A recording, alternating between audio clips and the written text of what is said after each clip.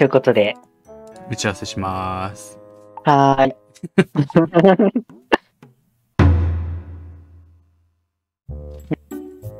あ、きっくん。あの、今ちょっとねずさんに相談してたんだけど、ちょっと大事な話があって、うん。今それキーくん、キーくんのスタンスなんだよね。キーくんがうんって言ってんだよね。ねずさんないよね。そうそうそで、今、ねずさんにちょっと相談してたんだけど、う。うん。大事な話があって、おうん、何？と、なんや？うるさいぞ。それはねずさんなんだよ。ああ、そうね。ちょっと俺出てきちゃってる。俺出てきちゃってるわ。うん。後ろの方にいるわ。後ろの方にいます。後ろっぽくやんなくてい。で、大事な話があって、なんや。だから、それで、あのな、うん。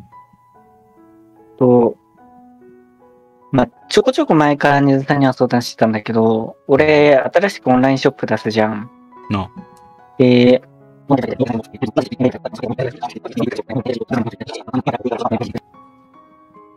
ょっと見ようをね、脱退させてもらいたいなと思って。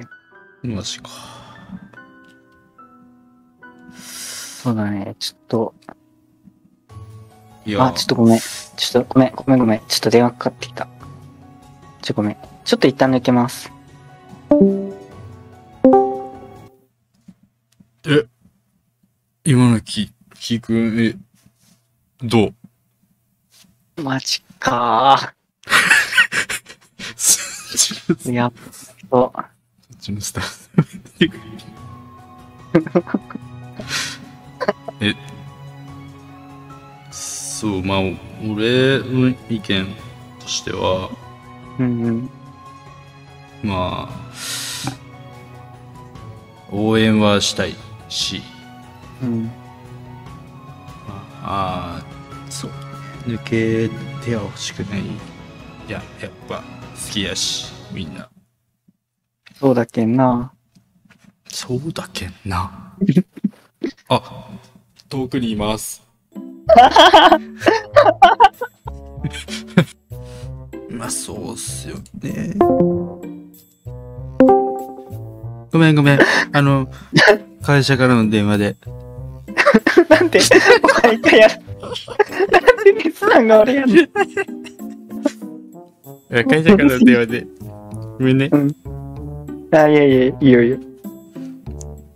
あの、あの、まあ、そういうことなんで。本当二人には申し訳ないと思って。申し訳ないと思って。それまあ